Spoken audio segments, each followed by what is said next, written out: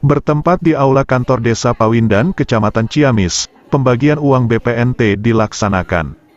Namun dalam pembagian uang tersebut ada campur tangan dari pihak pemerintah desa dalam pengarahan pembelanjaan uang tersebut yang mana beberapa keluarga penerima manfaat atau KPM mendapat penekanan terkait pembelanjaan komoditi.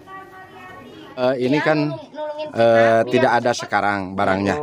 Iya. Sedangkan uangnya udah dipegang sama ibu. Ibu juga. Nah, kalau demikian pendapat ibu gimana bu? Ah, bawa lagi aja rum ke rumah uang mah nggak jadi apa-apa. Bebas. Uang punya kita. punya kita. Belanjaan kan udah di sini udah ada gitu. di sini mah Bawa aja dulu uang mah ke rumah. mah walaupun bukan agen Kan ge, kan besok ada uang ada barang gitu ya. Gimana gimana tadi Bu? Gimana Bu? Eh, tah loh. Jadi, lagi tuh. Ini kan tadi kata Ya, warung, Kata warung. eh, Ya. penyalurannya hari Rabu. Ya. Nah, ini uangnya kata ibu warung tadi harus disimpan dulu di sini karena bar- eh, barangnya belum ada. Itu gimana Bu? Keinginan ibu. Iya kata saya sih kan ada uang ada barang ya. Ah, iya ada Ya kalau kalau belum ada bawa lagi nggak ada jadi masalah itu uang.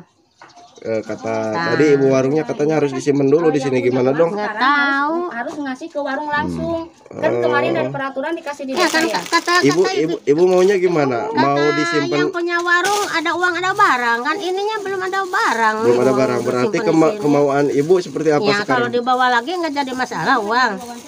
Ya enggak. Dibawa ke rumah ya. Iya disimpan dulu di rumah. nah. Mau dibelanjain kalau udah barang ada barang. Ah, siap. Berarti ibu maunya uangnya dibawa dulu ke rumah Dibawa jangan dulu ke rumah. Siap. Nah, udah ada catatan kemarin itu barang-barangnya yang saya beli udah ada di sini tapi katanya belum komplit ya Heeh. iya baiknya bawa dulu aja bawa ke rumah gitu Betul, betul. kalau kalau bisa kalau nggak bisa ya disimpan di sini Gimana Bu? Bisa nggak? Dengan ibu siapa ini? nah ini mah belum itu ini Namanya bebas ibunya siapa? musri ah oh, oh musri ah Adapun penekanan tersebut yang mana KPM ditekankan belanja ke warung. Cuma dalam penunjukan tersebut tidak sesuai keinginan KPM di mana komoditi di warung tidak tersedia dan harus menunggu beberapa hari sehingga KPM harus pulang dengan tangan hampa walaupun uang sudah ditarik oleh warung.